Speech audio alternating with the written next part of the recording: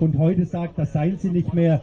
Mit Canan ist jemand da, wo wir wissen, sie ist eine Ansprechpartnerin auch für die Friedensbewegung. Und es ist ja immer so, Canan, du kennst das ja, dass die, die auf unserer Seite sind, dann immer die ganze Wut über die Parteien abbekommen, die sie sozusagen auch mitrepräsentieren. Wir wollen dir sagen, wir haben einen großen Respekt vor dir, dass du heute mit Nein stimmen wirst, dass du als Teil einer Regierungsfraktion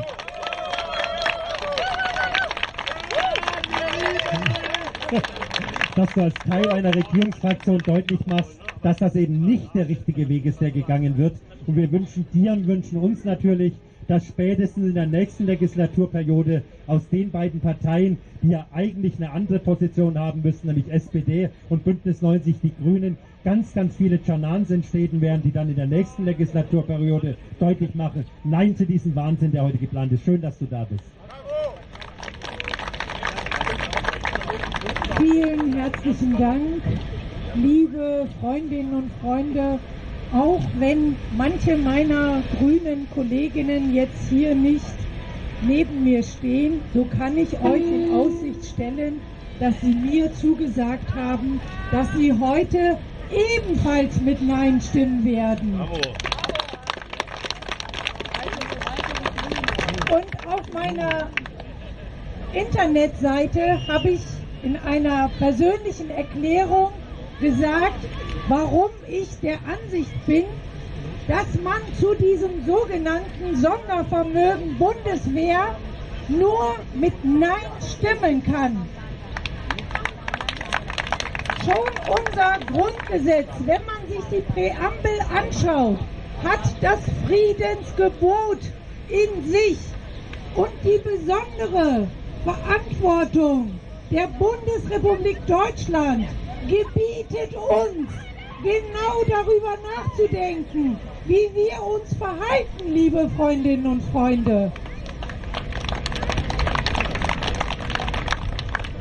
Und dazu gehört ganz selbstverständlich, dass wir uns dem Frieden verpflichten und dass für uns ganz klar sein muss, eine Abschreckungspolitik, sei es mit den bereits bestehenden oder den noch zu kaufenden mit den 100 Milliarden, ist eine rückwärtsgewandte aus dem letzten Jahrhundert.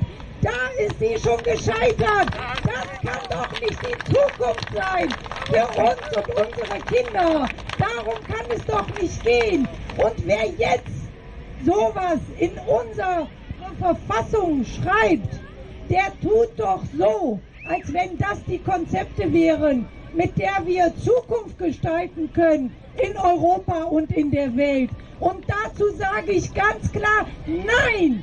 Ich will ganz andere Sachen in das Grundgesetz schreiben. Ich will da die Kinderrechte drin haben. Ich will da die Rasse raus haben. Ich will da mehr Gleichheit drin haben, statt 100 Milliarden für Waffen liebe Freundinnen und Freunde.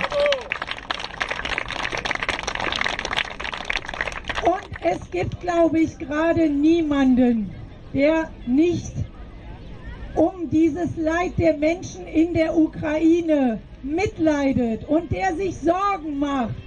Aber es ist auch nicht in Ordnung, so zu tun, als wenn diese 100 Milliarden irgendwem helfen würden oder irgendwas mit der schrecklichen Situation der Menschen in der Ukraine tatsächlich verändern können, liebe Freundinnen und Freunde. Das verschleiert doch die eigentlichen Absichten hinter diesen 100 Milliarden.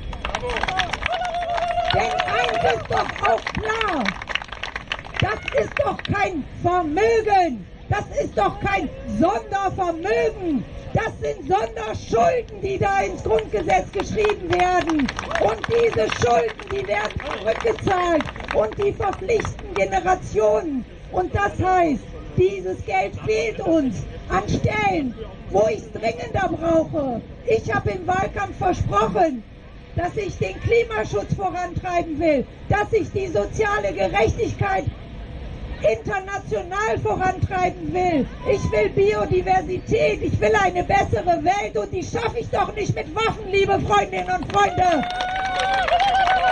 Da müssen wir doch ganz klar sein und zu diesem klaren Nein zu diesen Waffen gehört auch ein klares Nein zu diesem sogenannten Sondervermögen. Vielen herzlichen Dank und der Kampf geht weiter. Vielen, vielen Dank für deine Rede und dir, dir viel Kraft, dass du in deiner Partei ganz, ganz viel in der nächsten Zeit überzeugen kannst, dass sie Nein sagen zu diesem Aufrüstungswahnsinn, der passiert, dass sie dafür eintreten, eine andere Form der Außenpolitik zu machen. Und dass